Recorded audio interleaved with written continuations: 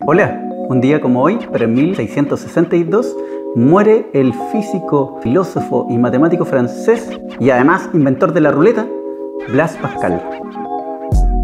Murió bastante joven, a los 39 años, pero nos dejó un gran legado y hoy quiero compartir algunos de sus aportes.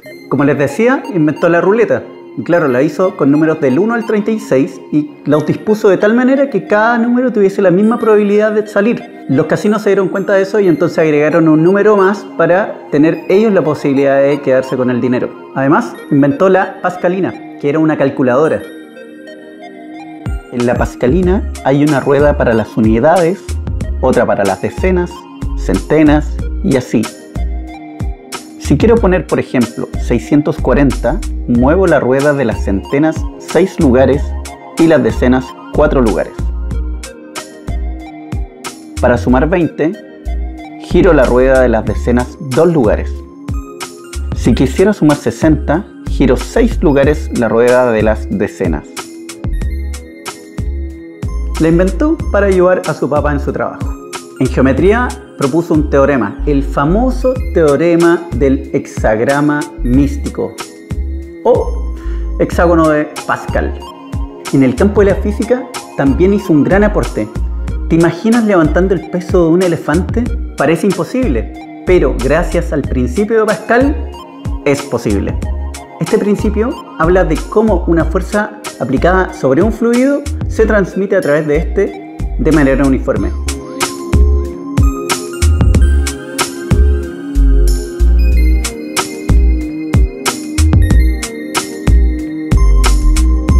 ¿Y a dónde nos lleva todo esto?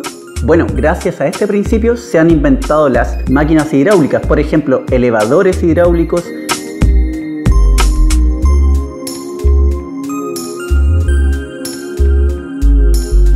prensas hidráulicas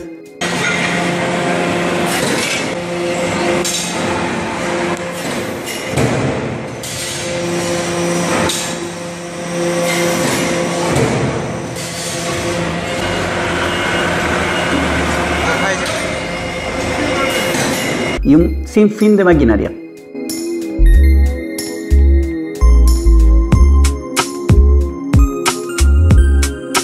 En teoría podríamos construir una máquina que usando el peso de un gato pueda levantar el peso de un elefante.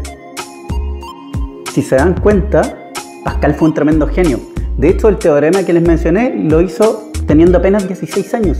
Así que, en resumen, tenemos el teorema del hexágono de Pascal, principio de Pascal, la pascalina, harto Pascal. Es como un Batman, el batimóvil, batiseñal, batidora, batiscafo,